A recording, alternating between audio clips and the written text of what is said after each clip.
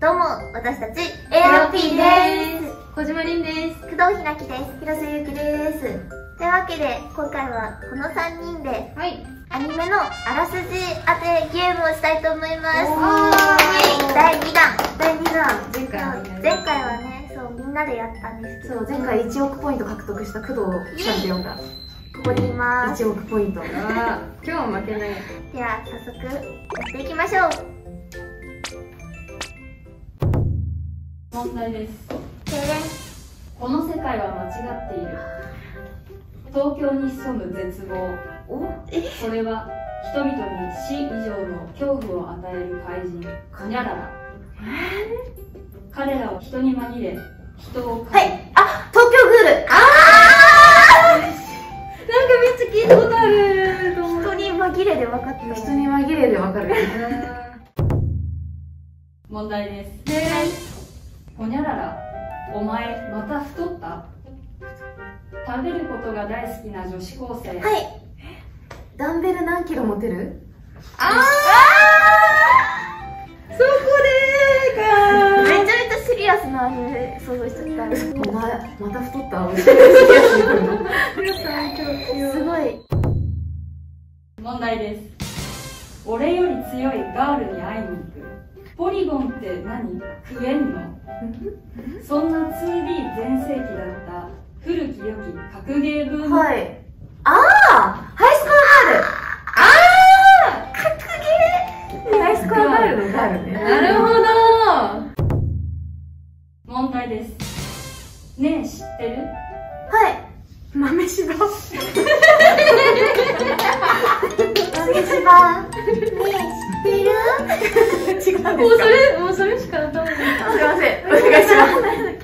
ねえ知ってる？この学園にある七不思議な話、自爆少年花子くん？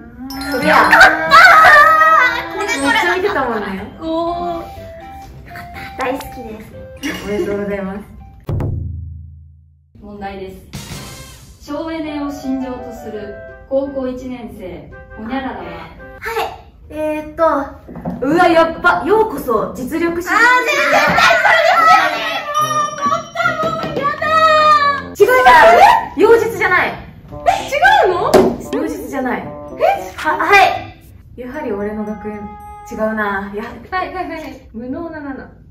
じゃないでしょうね。7だと省エネじゃない違うですよね。省エネを信条とする高校1年生ホニャララはひょんなことから廃部寸前のクラブ古典部に入部することに古典部で出会った好奇心旺盛なヒロインホニャララ中学からの腐れ縁ほにゃららとほにゃらら。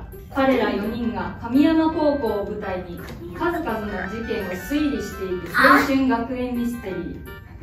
私気になります。はい。いいの？大丈夫。えでも分かったんじゃない？分かんない。評価。そうだ評価の主人公省エネだむしろさ私気になりますが出るまで出せなかった私たち激弱だね。ちょっと恥じた方がいいわ私たち。すみません。始めます。恥恥よ問題です。人気の VRMMO ニューワールドオンラインに超大型神事に現る。え？はい。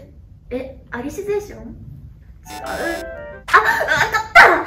防御力に極力、きょ、きょ、きょ、きょ、服振りする、あの、痛、痛いのは嫌なので防、防御力に極振りしますあ当たったやったータイトル名長すぎる。ね次の問題お願いしますちょっと下品な漫画を描いている漫画家のはい。いきますよエロ漫画先生違う。え？エロ漫画じゃないか。下品なのに。ちょっと下品な漫画を描いている。漫画家のほにゃらら。一人娘の小学4年生のほにゃらら。はい。えでもこれエロいっけ？隠し事？あよかった。ー。ダメだ。ダメだ。ダメだ。もう小島ダメだ。やばい。続いてお願いします。過去のトラウマと独自のひねくれた思考回路によってぼっち生活を謳歌しているように見えるほにゃららは。手あげなよ え、いいんですか？いいよ。やはり俺の推奨ラブこれ間違っている。うわありがとうございます。なんで分かったの手挙げてこれ絶対あれですよね。はい。はい。お願いします。次目覚めるとそこは本のない異世界だった。はい本好きの下克上。それやそれはもう分かり分かりまだわよ。お願いします。身長158センチのホニャララの夢はパリコリのモデル？のやつ？もう作画もわかるんです。えーっと。違う？言っていいよ。あどうぞどうぞ。えでも最近やってたモデルのやつはランウェイで笑ってあえ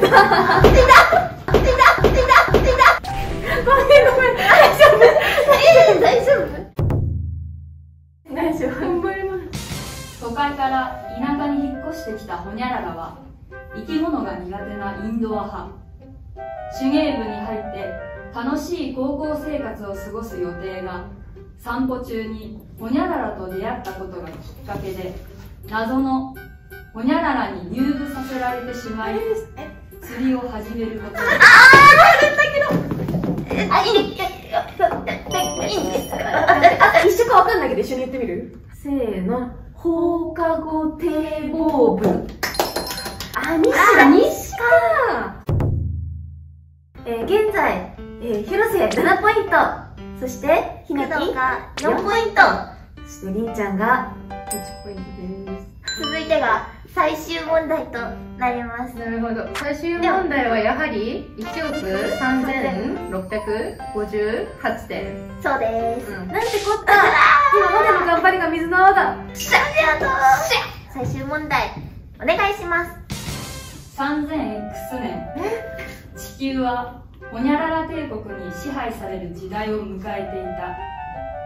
ホニャララ帝国皇帝ツルツルイーナ4世は己の権力の象徴として全人類をツルツル坊主頭にすべく全世界で毛刈り隊によるはい！はい！え違う？ボボボボボボあ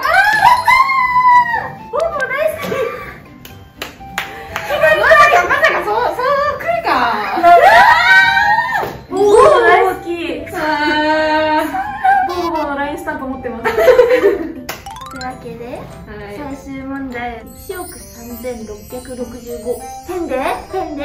ひろしさんの優勝。またやりましょう。